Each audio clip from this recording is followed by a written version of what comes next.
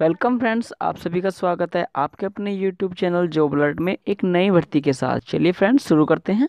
Friends जिस भर्ती के बारे में आपको बताने वाला हूँ, वो पोस्टल सर्किल की भर्ती आई हुई है। यानी कि इंडियन पोस्टल सर्किल की, जिसमें टोटल पोस्ट जो होगी वो 245 पोस्ट रखी गई है।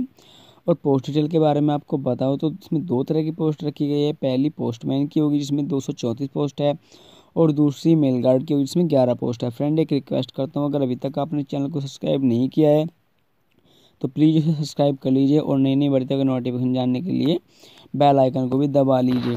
तो बात करते हैं अप्लाई मोड की। तो अप्लाई मोड जो होगा वो आपको इस फॉर्म को ऑनलाइन तरीके से फिल करना होगा और एजुकेशन क्वालिफिकेशन की बात करते हैं। तो फ्रेंड्स कैंडिडेट के पास जो है वो दसवीं क्लास होनी चाहिए किसी भी ऑर्गेनाइज बोर्ड के द्वारा।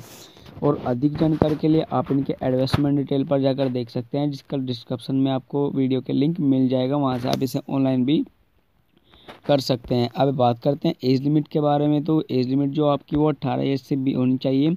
और मैक्सिमम सत्ताईस ईयर्स के बीच आपकी एज होनी चाहिए। इम्पोर्टेंट यानी कि अब जो एप्लीकेशन फ़ीस के बारे में आपको बता दूँ फ्रेंड्स जनरल ओबीसी के लिए पाँच सौ रुपये फ़ीस रखी गई। है जैसे कि हम सभी भी जानते हैं पोस्टल सर्किल की फ़ीस हमें से पाँच सौ रुपये रखी जाती है। S C S T P H के लिए सौ रुपये फ़ीस रखी गई है।